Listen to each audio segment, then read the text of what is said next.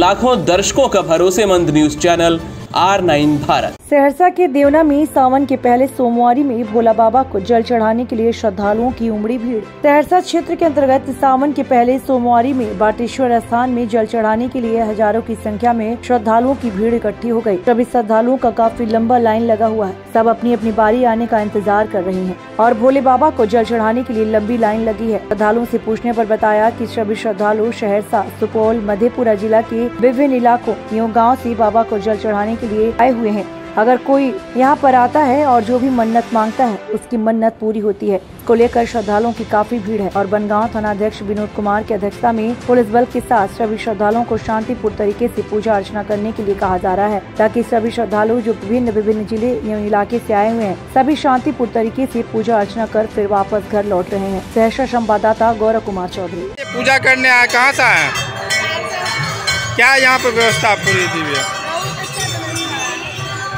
क्या मांगते हैं? क्या मांगते हैं? संपत्ति अच्छा से रहे क्या नाम हुआ? सार्थक देखिए हर साल सावन मास में बाबा बानेश्वर के यहाँ बहुत भीड़ रहती है और श्रद्धालु आते हैं और पूजा करते हैं। विधि व्यवस्था आप देख ही रहे हैं कि लाइन से लोग लग करके पूजा पाठ कर रहे हैं और बढ़िया से पूजा हो रहा है।